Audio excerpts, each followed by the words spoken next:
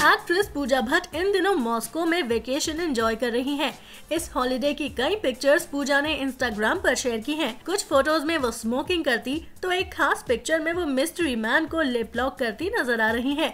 film industry में एक दशक से ज़्यादा के करियर के दौरान पूजा बोल्डनेस की वजह से ही सुर्खियों में रही उन्होंने पिता महेश भट्ट के साथ एक फोटोशूट करवाया था, जिसमें वो महेश को स्मूच कर रही थी पूजा का न्यूड बॉडी पेंट भी खासा चर्चित रहा था